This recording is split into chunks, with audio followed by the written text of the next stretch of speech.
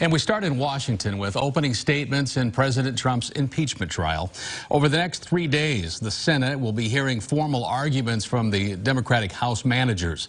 ABC's Rachel Martin is on Capitol Hill this afternoon with our top story at 5. Fresh off a nearly 13 hour, at times heated debate, the Democratic managers return to the Senate chamber with their evidence in hand, opening their case against the president. The president was the key player in the scheme. He personally asked the foreign government to investigate his opponent. These facts are not in dispute.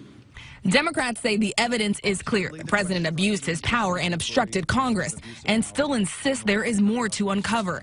But their repeated attempts to subpoena witnesses and documents before today's opening statements failed. The amendment is tabled. The amendment is tabled. The amendment is tabled. That pivotal question over witnesses punted until both sides complete their opening statements. I don't know how you have a serious trial without hearing from witnesses, without getting all of the documents.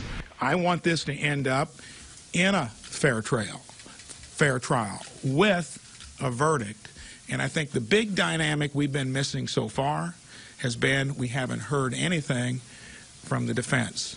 Democrats are holding out hope that four Republican senators will vote across party lines to meet the simple majority threshold needed to subpoena witnesses. But other key Republicans already have their mind made up. They don't care what they destroy in the process of trying to destroy Donald Trump. I do care.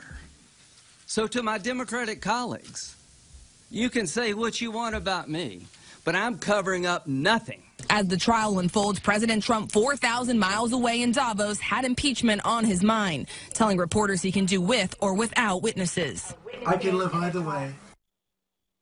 And all eyes will be on a group of moderate senators who have already proven to have some power in how this impeachment trial plays out. Republican Senator Susan Collins pushed for changes to allow existing evidence to be admitted, and the rules were revised.